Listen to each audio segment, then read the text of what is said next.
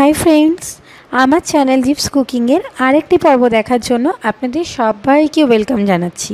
আর যারা আমার চ্যানেলে এখনও সাবস্ক্রাইব করেননি, তারা প্লিজ সাবস্ক্রাইব করুন আর বেল আইকনটায় ক্লিক করে দিন, তাহলে আমার চ্যানেলে নতুন ভিডিও আপনারা মিস করে যাবেন না। আজকে আমি আপনাদেরকে ফ্রুট কাস্টার্ড তৈরি করে দেখাবো। এটা একটা ভীষণই সিম্পল অ্যান্ড ইজি রেসিপি এটা অবশ্যই বাড়িতে ট্রাই করুন। আর রেসিপিটা ভালো লাগলে ভিডিও নিচে লাইক করতে ভুলবেন না। আর তার সাথে আমার চ্যানেলে সাবস্ক্রাইব করারও অনুরোধ রইল।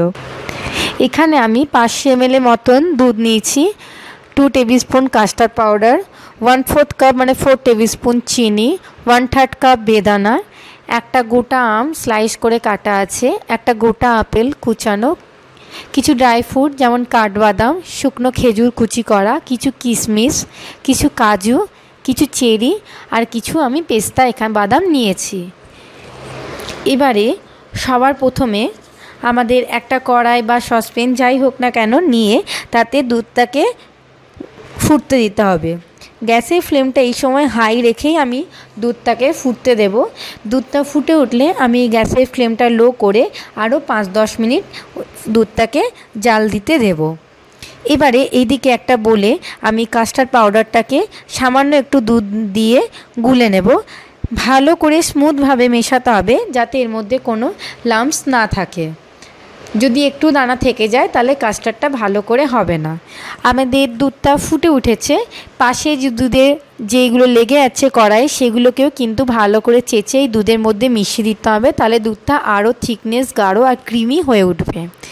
এবারে এখন এই মিশ্রণটাকে আমি অল্প অল্প করে মেশাতে থাকব। পুরোটা একসঙ্গে দেবেন না, একসঙ্গে ভালোভাবে তাহলে দিলে সেটা মিশতে চাইবে না।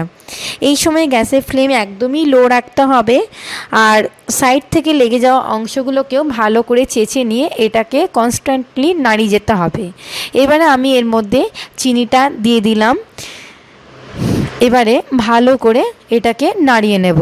কাজটা কিন্তু সবসময় নাড়িয়ে যেতে হবে নাহলে তলায় লেগে গিয়ে পুড়ে যাওয়ার সম্ভাবনা থেকে যাবে। আমাদের কাজটা রেডি হয়ে গেছে।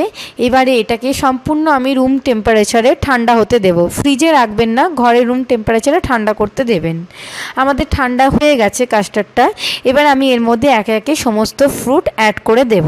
প্রথমে আপেল, তারপরে আমটাকে আমি দিয়ে দিলাম। এক আর তারপরে বেদানাটাকে আমি অ্যাড করছি। এখানে আপনাদের মনের মতন ফ্রুট অ্যাড করতে পারেন। যে যেরকম খেতে পছন্দ করেন, যত বেশি কাস্টার্ডে ফ্রুট দেওয়া যায় কাস্টার্ড তত বেশি সুন্দর, সুস্বাদু হয়ে ওঠে। এবার চেরি, শুকনো খেজুর আর কিশমিশটাও আমি এখানে অ্যাড করে দিলাম। বাকি ড্রাই ফ্রুট আমি গার্নিশিংয়ের জন্য রেখে দিলাম।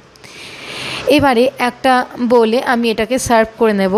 দিয়ে আমি এটা সার্ভ করার পর ফ্রিজে ঠান্ডা হতে চার ঘণ্টার জন্য রেখে দেব।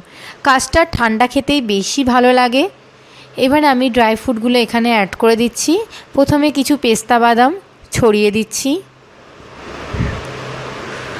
তারপরে কিছু কাঠবাদাম মানে আনমন্ড বাদাম আমি দিয়ে দিচ্ছি। এবারে কিছু কাজু ওপর থেকে আমি সাজিয়ে গার্নিশিং করব। আর তারপরে একটু কিছু বেদানা আমি ছড়িয়ে দিচ্ছি। দেখতেই পারলেন, আমাদের কাজটা রেডি হয়ে গেছে। এবার এটাকে ঠান্ডা ঠান্ডা ফ্রিজে রাখার পর সার্ভ করুন। এটা খেতে খুবই সুস্বাদু, খুবই হেল্পফুল খুবই একটা ইয়ামি ডিশ আশা করছি আমার রেসিপি আপনাদের ভালো লেগেছে। রেসিপিটা ভালো লাগলে অবশ্যই সাবস্ক্রাইব করবেন আর নিজেদের কমেন্ট আমাকে কমেন্ট সেকশনে লিখে জানাতে ভুলবেন না। আমি আরও পরে আরও নতুন নতুন রেসিপি নিয়ে হাজির হব। আজকে এখানেই বিদায় জানালাম। ভালো থাকবেন। বাই